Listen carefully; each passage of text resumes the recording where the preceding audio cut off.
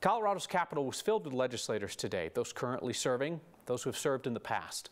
Democrats and Republicans who gathered to remember former Republican House Speaker Hugh McKean, who died suddenly of a heart attack last month. If these hallowed marble halls could talk, imagine the stories that they would tell. Today, let them tell the stories of Hugh McKean and the indelible mark he left on this building and our hearts.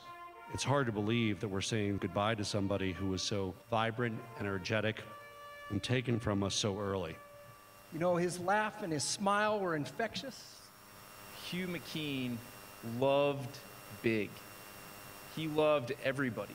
As a public servant, Minority Leader Hugh McKean cared for his constituents and worked every day to bring their voices to the Capitol. He had a remarkable ability to connect with people making everyone from a gas station attendants to governors feel consequential.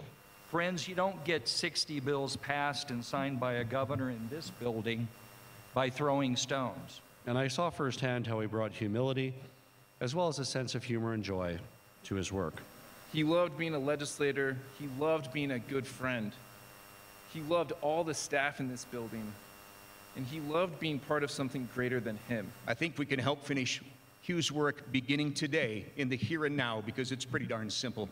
Live like Hugh, laugh like Hugh, serve like Hugh, and love like Hugh. To do so, we would make Colorado imminently better and would truly finish his work. So, my brother, I love you.